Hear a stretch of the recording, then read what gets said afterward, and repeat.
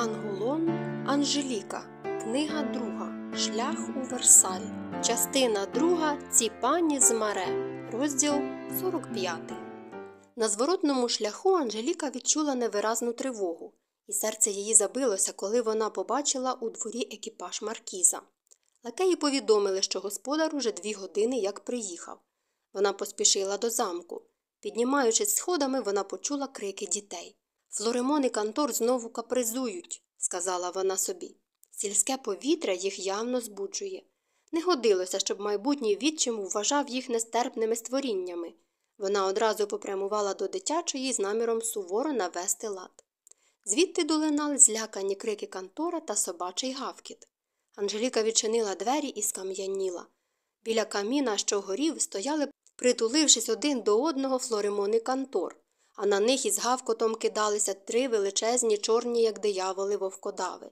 Собак тримав на повідку Філіп Дюплесі Бельєр, і його, здавалося, дуже бавив жах дітей.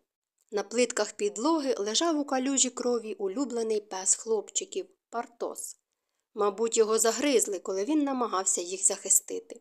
Кантор кричав, його кругле личко було залите сльозами, але мертвенно бліде обличчя Флоремона світилося незвичайною мужністю. Він вихопив маленького меча і розмахував їм перед мордами псів, намагаючись захистити брата. Анжеліка навіть скрикнути не встигла.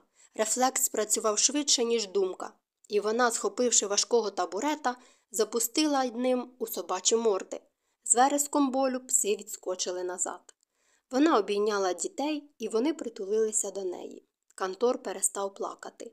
Філіп, видихнула вона. Хіба ж можна так лякати дітей? Вони ж могли впасти в камін. Дивіться, Кантор обпік собі руку. Той глянув на неї своїми прозорими, мов лід, очима. Ваші сини боягузливі, як баби, промовив він нетвердо. Обличчя його було червоніше за звичайне, і він хитався. Та він п'яний, промайнуло в голові Анжеліки. У цей момент увійшла барба. Задихаючись, вона схопилася за груди, щоб вгамувати серце, яке відчайдушно билося. Очі її з жахом перебігали з Філіпа на Анжеліку, потім зупинилися на мертвій собаці. Вибачте мені, мадам, пролепетала вона. Я пішла по молоко для дітей на сніданок, а їх залишила під наглядом фліпо. Я ніяк не могла подумати. Нічого страшного, спокійно сказала Анжеліка. Діти не звикли так близько від себе бачити злісних мисливських собак. Вони мають звикати, якщо хочуть виїжджати на полювання на оленя чи кабана, як справжні дворяни. Майбутні дворяни без особливого ентузіазму косилися на собак, але, опинившись під захистом матері, вони вже нічого не боялися. Дурниці, ось ви хто, ніжно пробурчала вона. Філіп у золотисто-коричневому дорожньому костюмі розглядав усю групу, погойдуючись на широко розставлених ногах. Потім хльоснув собак батогом, рвонув їх за повідки і вийшов із кімнати. Барба швидко зачинила двері. Мене розшукав фліпо, прошепотіла вона. Пан Маркіс вигнав його з кімнати, і ви мене не переконаєте, що він не хотів зацькувати хлопчиків собаками. Не кажи дурниць, Барбо, сухо відрізала Анжеліка. Пан Маркіс просто не звик до дітей та не вміє з ними поводитися. Мабуть, він хотів пограти. Ну так, ігри принців крові. Звісно, куди вони заводять. Я знаю одного малюка, який уже заплатив своїм життям. Анжеліка здригнулася, згадавши ліно. Хіба білявий Філіп не був тоді серед мучителів маленького продавця вафель? І хіба його не похитувало так само, як зараз? Тоді він теж не реагував на благання. Зрозумівши, що діти заспокоїлися, вона пішла до себе і вмостилася за туалетний столик поправити зачіску. Що це все означало? Чи потрібно сприймати інцидент серйозно? Філіп був п'яний, це кидалося у вічі. Протверезівши, він, звичайно, вибачиться за свій вчинок. Але з голови не виходили слова Марії Агнес він справжня тварина. У ньому ховається підступна, жорстока тварина. Коли він захоче помститися жінці, він не зупиниться ні перед чим. Але не стане він нападати на дітей, сказала собі Анжеліка, відкинувши погані думки і швидко піднімаючись. У цей момент двері в кімнату відчинилися. На порозі стояв Філіп і дивився на неї важким поглядом. Скринька з отрутою у вас? Я передам її вам у день нашого весілля, як записано у контракті. Ми повінчаємося сьогодні ж увечері. Значить, я передам вам скриньку сьогодні ввечері, сказала вона, намагаючись не видати замішання. Вона простягла йому руку. Ми навіть не привіталися. Не бачу в цьому необхідності, відрізав він і з силою зачинив двері. Анжеліка закусила губу. Звісно, повелителя, якого вона собі обрала, задобрити буде нелегко.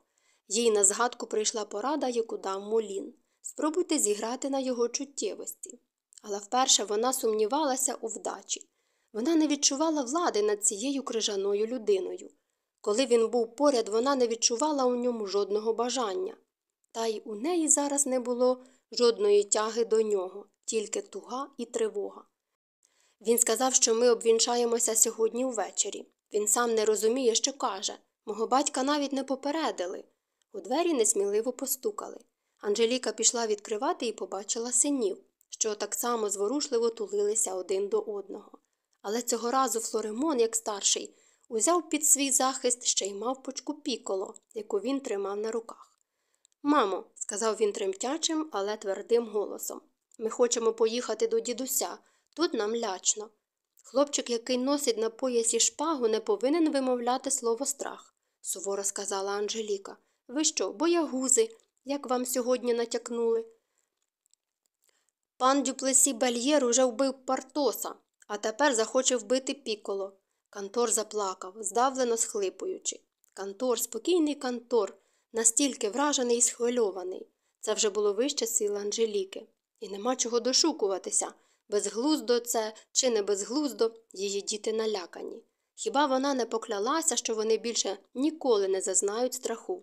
Вирішено, ви поїдете до Монтелу разом із барбою. І зараз же, тільки дайте слово поводитися добре.